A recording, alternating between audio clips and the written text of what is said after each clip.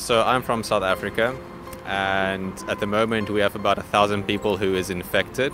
Um, back from Ghana, they've they've locked down now because uh, it's getting it's getting serious there. I'm actually from Croatia.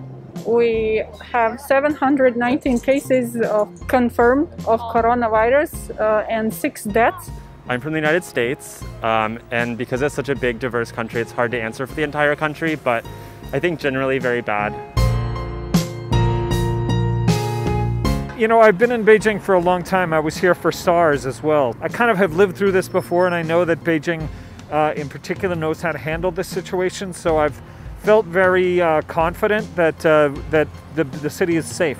I think it's been a lot of different feelings. Um, at first, it was a lot of fear just because there was like nothing known about the virus. But then, you know, when we saw the steps being taken, I would say really, you know, we're uh, we felt secure.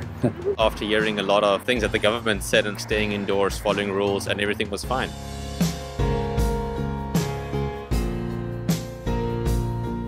It doesn't make any sense because look, I go with what the WHO says, right? The WHO initially, even China was saying, "Oh, this is the we're going to call this the Wuhan virus," but WHO has had uh, naming guidelines for many years now. When something like this happens, you look for something that doesn't stigmatize a country, a people, an area, or anything. It's silly to me that the, that even to be debating a name because it's an illness and it's killing people, affecting people, and that should be the focus. I think Donald, Donald Trump is uh, crazy, something like he he he wanna make his himself great, not America great. I would say that you know this is a kind of very emotional statement uh, because it, uh, it it sounds first of all racist.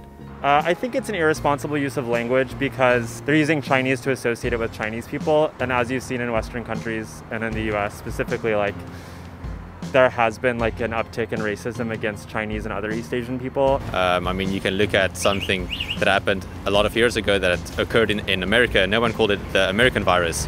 It was just the H1Z1 virus. This is virus. You cannot say this country bring this virus. It's shame.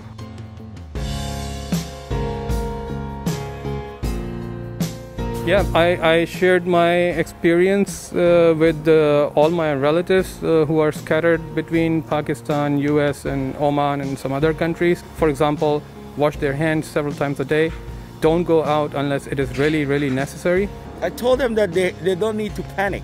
It's the same approaches that we were being told in our communities here in Beijing. Yeah. So I think that China understand it, and I, I mean, like uh, as I'm lucky to be in China, I told my family back there this is the approach that I followed up to uh, three months now, so I'm okay. Well, basically, I say follow the example of what the city of Beijing has done. Everything they've done here, I think, is necessary for places like New York City and everything. Now uh, also China giving a lot of support for Europe, and this is great things. They need to fight all together because this uh, virus it's like affects all, all whole the world. So they have to follow the same system back there. Yeah. Okay, that's it. Thank you so much for sharing your opinion with us. Thank you so much. You're welcome. And I pray that China will, will overcome this pandemic so that we all can go back to our normal life.